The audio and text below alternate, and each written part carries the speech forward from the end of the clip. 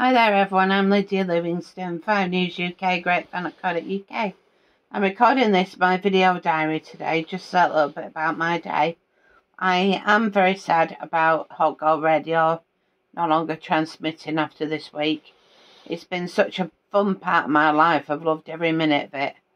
And um, hopefully we'll, we might make, we'll still be able to do the newspapers uh, choice on Hot Radio I hope so.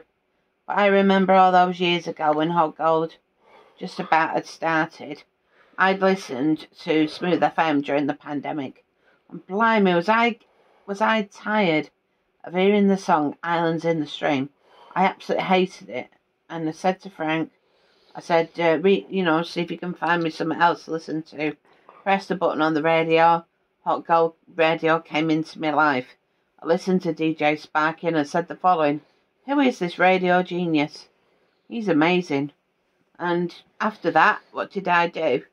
Um, we heard by the radio that Sparky and people from Hot Radio were going to be at the Wimborne Family Festival. This is a couple of years ago. And I was all excited. I thought, is Sparky going to be there? Am I going to better say hello to him? And I walked over, sorry, I, me partner walked over to him. Then he came towards and we just got talking. It was I was so happy that I I finally got to see the gentleman who, who made me so happy, who's made me aware that there's other characters out there.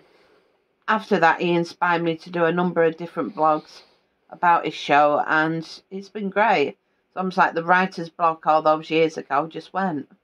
Um, I feel very sad it's come to an end. Um, you know, it's it's hard for me in a way because I loved it so much. Um, some uh something by numbers. I can't remember the name now.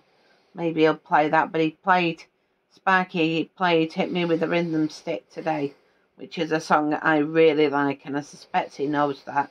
I have to admit, I think he knows pretty much all the songs in his playlist I like, especially after two and a half years. Two and a half years, it feels like yesterday.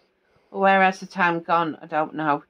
I don't know why they stopped transmitting, but what I will say is, it, it will be a fond farewell to Hot Gold Radio, and within myself, I feel very upset about it, but at the same time, who knows what the future will bring? We've got the walk um, for wards coming up, um, and that's with the Hot Radio family on the 14th of October.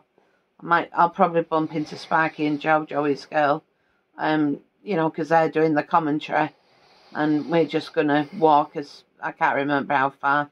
I think it's three miles, and it's gonna money's gonna go to the two local hospitals near us. Oh my god, I'm looking forward to it, and I've got um, a birthday party coming up. Not my official birthday. This is just my birthday party with my friends because people get busy over the summer. Sorry about this long video, but that's a little bit about things, and I will probably record a second one as well.